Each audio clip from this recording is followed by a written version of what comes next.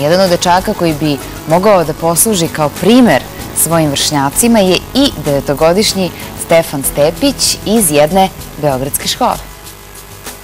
Stefan Stepić je učenik trećeg razreda Beogradske osnovne škole Bora Stanković. Kao i svi njegovi vršnjaci ovog toplog novembra, Stefan nije često kod kuće.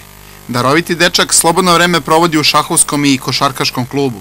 Pa privuklo me to što mi je izgledalo kao zabavno. Deda me naučio svim pravilima, a nameravam da se bavim još dugo. Pored šaha baviš se i košarkom?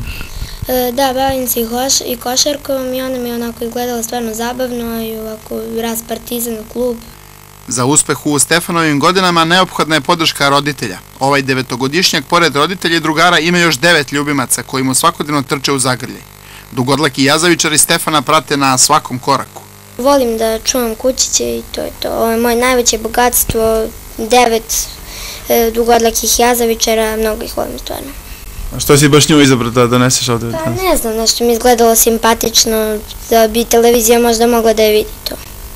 Naviknut na rad i konstantno usavršavanje, Stefan je na republičkom takmičenju u rešavanju matematičkih i logičkih zadataka zauzeo treće mesto.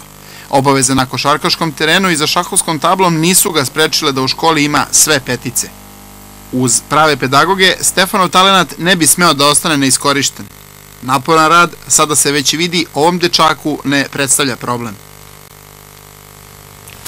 E, sada ćemo da uključimo Kragujevac. Sa nama je Zorica Kovačević. Zorice, dobro jutro. Dobro jutro, Branko. U Kragujevačkom kliničkom centru otvoren je kabina